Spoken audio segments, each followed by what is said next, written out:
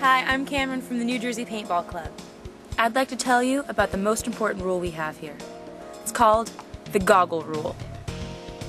That rule is that this paintball mask has to be sealed against your forehead, temples, cheekbones, and the bridge of your nose, just like this. Until your referee tells you it's safe to remove your goggles. We're totally inflexible with this rule because your safety and your eyes are the most important thing to us. If you remove your goggles without direct permission from your referee, not only are you putting your eyesight in danger, but you're also showing us that you can't follow the most important rule we have. Keep your goggles on at all times unless your referee specifically and directly tells you to take it off. Okay, you can take it off. If you can't follow this rule, then you can't play with us.